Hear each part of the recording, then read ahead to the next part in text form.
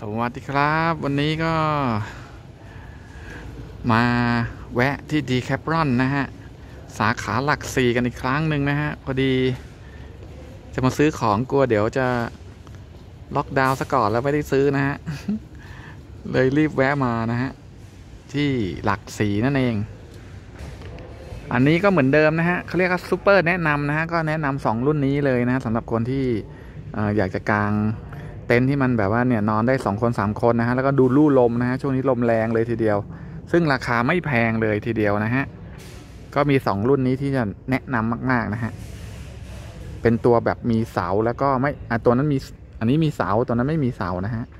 อ่า เดี๋ยวไปดูใกล้ๆกัน นี่ให้เห็นราคากันก่อนเลยนะฮะ แบบไม่มีเสาแพงกว่านะจ๊ะนะฮะ ก็ดูเขาเรียกรูปรูปทรงนะฮะโฉบเฉี่ยวใช้ได้ นะฮะแล้วก็เขาเรียกว่า dark zone เข้าไปคุณจะเจอกับความมืดนะฮะสำหรับคนที่ชอบนอนแบบมืดๆนะฮะนี่เลยนะดูให้ดูถึงความแตกต่างนะฮะอันนี้ก็จะดูแบบมีอ่า terrace เหมือนจะเหมือนไหมแง่งออกมานิดนึงนะฮะซึ่งก็แล้วแต่ชอบเลยนะฮะต่างกันประมาณพันกว่านะฮะนี่เลยนะครับเป็นเต็นท์กลางเร็วนะฮะแต่เก็บช้าโอเค นี่เลยนะฮะตัวที่แนะนำกันบ่อยๆ เลยนะฮะตัวนี้ที่มาแล้วหมดเร็วมาแล้วหมดเร็วนะฮะเพราะเอามาน้อยไม่ใช่นะคนนิยมนะฮะอยู่ที่สามพันห้านะครับเป็นเต็นท์นอนสองคนนะฮะเดี๋ยวเข้าไปดูใกล้ๆคือพอดีไม่ได้เอาไม้กันสั่นมานะ ก็เลยไม่อยากมูฟมากนะฮะ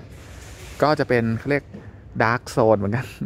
เข้าไปก็จะมืดตื๋อเลยนะฮะ แต่ว่ากลางเร็วมากอันนี้กลางเร็วจริงๆนะเคยกลางให้เห็นหลาย ๆ รอบแล้วนะครับ อันนี้ก็ยัง work อยู่นะสำหรับเต็นท์รุ่นนี้ นี่ให้ดูนะฮะ ราคา3,500นั่นเองนะฮะ นี่ครับแหมนะเท่ไหมรุ่นนี้นะครับกางเร็วมาก ๆ เลยเก็บเร็วด้วยอ่าอันนี้กางเร็วเก็บเร็วนะ ถ้าใครชอบแบบโฉบเฉี่ยวแล้วก็ดูลู่ลมเป็นพิเศษนะฮะ มันเป็นเต็นท์แบบออโต้นะ คือดึงจุ๊บๆจบเลยนะฮะ แบบอื่นๆก็อาจจะให้ดูแบบปกติกันแบบมาตรฐาน อันนี้เรียกว่าแบบคลาสสิกแล้วกันนะฮะ อันนี้สำหรับผู้เริ่มต้นนะฮะ อยากจะลองดูนะ 1,000 บาทนะฮะก็อันนี้เป็นรุ่นใหม่ก็จะสวยขึ้นมาหน่อยนะฮะจะแบบสไลด์เฉียงนะฮะแล้วก็เป็นสีเทาๆหน่อยนะครับแต่ถ้าใหญ่ขึ้นมาหน่อยอันนั้นพันห้านะครับเดี๋ยวไปดูใกล้ๆกัน นี่บอกนอนได้สามคนนะฮะนี่นะครับก็จะริมเหลี่ยมหน่อยนะครับเป็นรุ่นคลาสสิกนะฮะก็เป็นเสาไขว้ไปไขว้มาจบนะฮะ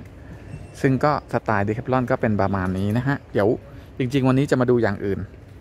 อันนี้ผมตั้งชื่อว่ามันเป็นรุ่นหอยทากนะฮะ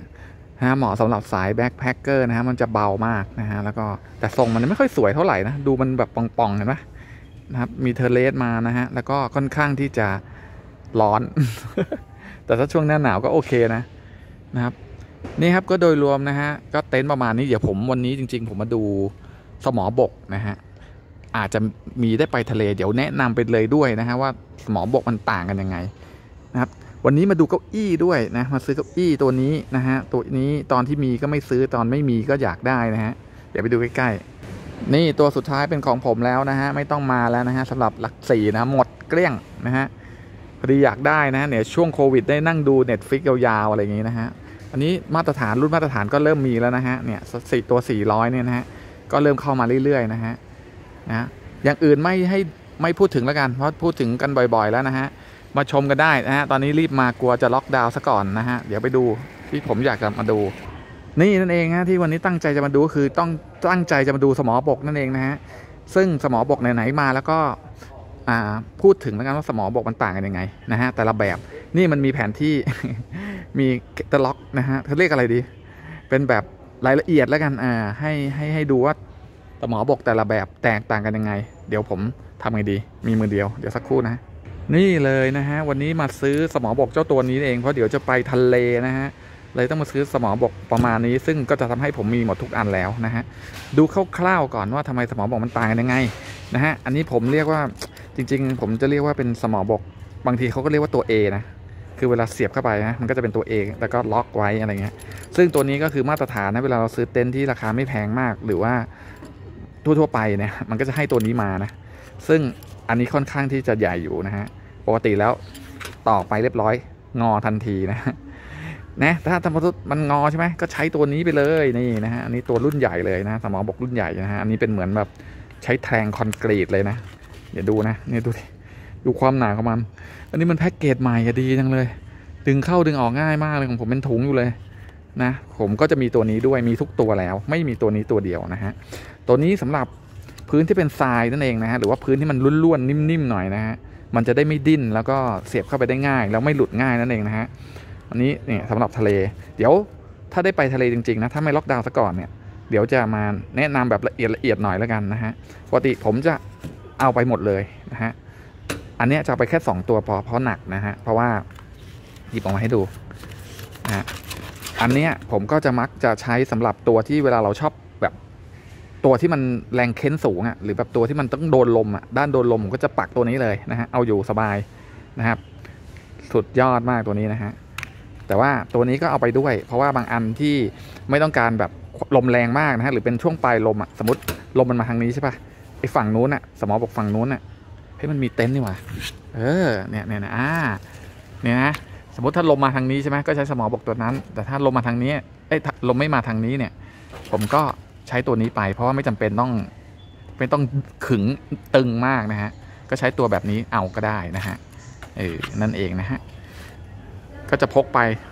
อันเนี้ยก็คือมาตรฐานจะมีไว้อยู่แล้วแหละนะฮะ หลาย ๆ ตัวนะฮะ อันนี้จะมีแค่ 2 ตัวเผื่อแบบช่วงเขาเรียกช่วงหน้าต่างนะพวกช่วงหน้าต่างให้ดู ช่วงหน้าต่างหรือพวกดึงพวกเนี้ยเราจะต้องรูเรียกรูซิปใช่ป่ะรูซิปบ่อยเลยเงี้ย รูดซิบ่อยช่วงนี้มันก็ต้องตึงหน่อยก็จะใช้ตัวตัวที่มันแข็งแรงมากๆ ต่อเข้าไปมิดด้ามเลยนะฮะเนี่ยต่อให้ดิดมิดด้ามเลยอะไรอย่างเงี้ยก็จะใช้ตัวนี้นั่นเองนะฮะโอเคก็ประมาณนี้ไม่มีอะไรวันนี้จะมาซื้อเก้าอี้กับกับเจ้าสมอบกตัวนี้นะฮะซึ่งจะไปทะเลนั่นเองนะฮะถ้าไม่ล็อกดาวน์ซะก่อนนะฮะเดี๋ยวจะมารีวิวแบบละเอียดละเอียดให้ดูว่ามันเสียบพื้นแล้วเป็นยังไงนะฮะโอเคก็ประมาณนี้นะฮะอันนี้อย่างที่บอกนะฮะอยู่ที่หลักสี่นะฮะ ดีแคปรอนหลักสี่นะฮะรถไฟฟ้ามาถึงเลยนะครับ ตอนนี้ไปถึงนู่นแล้วโอ้ยรถไฟไปยาวเลย ไม่มีคนเลยฮะงั้นโอเค ประมาณนี้งั้นเดี๋ยวขอตัวก่อนแล้วกันนะฮะสำหรับคลิปนี้ก็ประมาณนี้นะครับ สวัสดีครับโอ้ยาวเหมือนกันเนี่ย